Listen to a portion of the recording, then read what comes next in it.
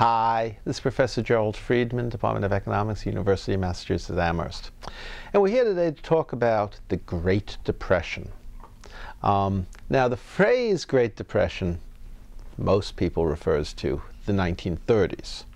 Um, but at this point in American, the American experience, um, it's arguable could refer to several different Great Depressions. Um, there was a pretty big depression after 1837. There was another really big one in 1873 to 77 or so. Um, 1893 depression lasted for a couple of years.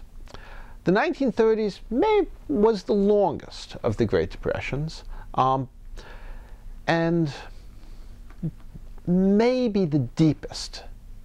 The fall in economic output during the Great Depression in the 1930s from the peak, economic peak in 1929 to the nadir, the trough of the Depression in 33, uh, was close to 30% in real terms. Um, that's bigger somewhat than 1893 to 95 or 1873 to 75 um, or 37 to uh, 40.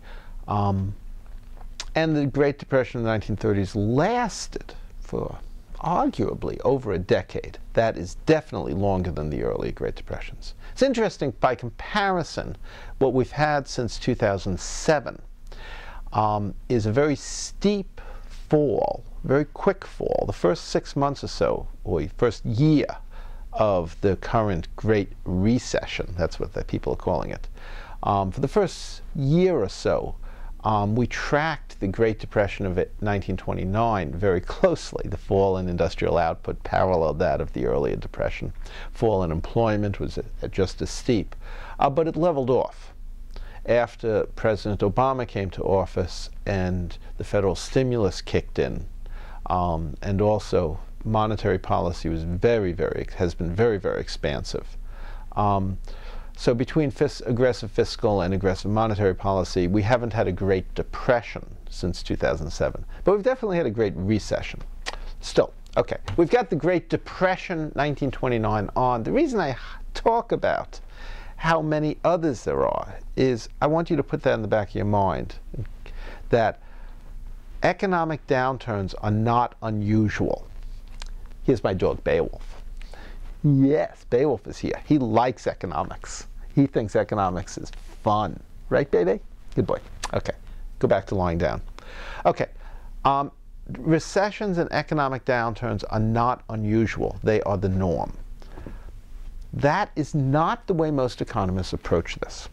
The second thing to talk about with the Great Depression of the 1920s, uh, 1929 to 30s, to the 30s, is that it is a subject that most economists know nothing about and, more important, don't want to know about.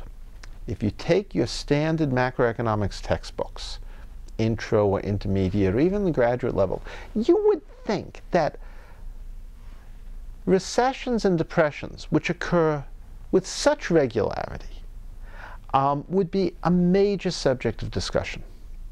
Um, we have business cycle that's been going on for 200 years or so of capitalist economic activity in the United States. A business cycle with downturns coming about every seven or eight years. Um, with every third or so downturn being a major crisis. Um, so just in my adult lifetime, we had major downturns in 1970, 1975, 1979, 1981, 1987, 1990. Um, then we had a little bit of a break for a while, then 2000, um, and then a little bit of a you know extended break, and then 2007. I mean, this happens all the time. And the Great Depression of the 1929-30s was the biggest. So you think you'd want to study this a lot you'd want to really you know, learn about this because this is the opportunity to see what drives economic downturns. And economic downturns are a major part of the economy. No, that's not the way economists look at it.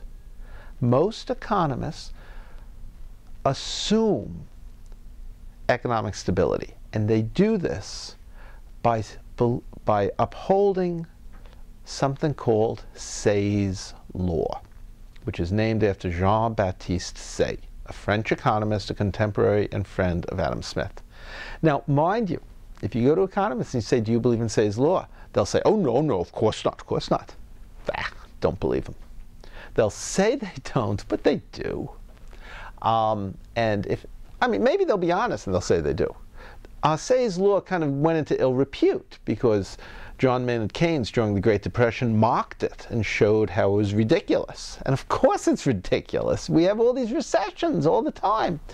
But they still, uh, uh, most economists still operate in a world of Say's law. And this is what you get in the textbooks for macroeconomics. Um, okay, Say's law says that production is always done with intent to consume. Therefore, there can never be more production than people want to consume.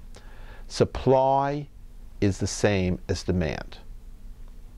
Take that one step at a time. Production is always with intent to consume. You never produce except with intent to consume. This kind of makes sense. You know, you'd think that Robinson Crusoe on a desert island would be producing only with purpose of consuming. Why else would he bother reaching out and picking up the coconuts? Why would he do that if he didn't want to eat a coconut? Why would he make a boat if he didn't want to go out on the water? True for Robinson Crusoe. Um, as we'll see in a few minutes, not necessarily true for a capitalist economy. Second, uh, because production is with intent to consume, either consume the thing you're producing or to exchange it for equivalence, supply can never exceed demand. Well, that follows logically. Um, it makes sense. Um, but even given that, there may be problems with supply and demand that Say's law glosses over because Say's law operates in the world of Robinson Crusoe, or maybe Robinson Crusoe exchanging coconuts with the fish that his man Friday caught. Or maybe Robinson Crusoe fishes and gives Friday fish in exchange for coconuts, whatever. What happens when you bring money into the picture? Um, Robinson Crusoe doesn't exchange his coconuts anymore for fish. He sells his coconuts, um, accumulates money, and then uses that money to buy the fish. There are good reasons why people do this. Barter is difficult to coordinate. Um, it's simpler to just sell your fish when you've got them and then use the money some other time. The problem is once you start doing that, you're not producing just for consumption, you're producing for the money. And yeah, you plan to use the money, but it's not necessarily instantaneous. So you've got a potential disequilibrium. Now, what happen, What do you actually do with the money? Um, you take the money and you put it in a bank because it's safer that way. You don't want to just stick the money in a hole in the ground. You'll forget where it is. Somebody else may dig it up. Your dog, Beowulf, may go and looking for a bone, may dig up your money and spread it all over the place. So no, you take your money, you put it in the bank. What does the bank do with the money? Uh, the bank takes the money and lends it out to somebody else, figuring that you're not going to ask for it very soon. In the meantime, they'll give the money to Dan. Dan uses the money to buy a camera. Dan's happy. Dan has his camera, he's in his business. Then you go to the bank, you want your money because you want to buy fish. You're finally ready to buy your fish. The bank doesn't have the money. It had lent it out to Dan. So it goes to Dan says, we need the money. And Dan's like, shit, I don't have the money. The money's in my camera. They said, well, we don't care. We want the money. We need it to pay off this other guy. So Dan has to sell his camera at a loss. Dan's sad. Worse than that, Dan's laying off the two people he hired because he doesn't have a camera anymore. So he doesn't need a camera carrier and he doesn't need a camera. You get the point. Once you bring money into the picture, you bring in the possibility of economic collapse because of problems with the banking system and with the financial system, with the monetary system. Okay, so That said, economists basically kind of take it for granted that Say's law will hold. They like it that way. Um, it fits with their prejudices. They like to think, okay, now we've got an explanation for the economy. It's rooted in the individual beha the behavior of individuals. Everything's fine. Problem, though, in a capitalist economy, production is not for consumption. Production is for profit. Dan here isn't just working to consume the video or the products of his video. Dan's working because some people hired him to produce a video on which they hope to make a profit. They're going to keep making videos. They're going to keep making videos as long as they can make profits from them. Yeah. Um, capitalist economies are not driven by people's needs. They're not driven by the desire to fulfill use values. They're driven by the drive for surplus value. Therefore, capitalist economies are always expanding, expanding, expanding, expanding.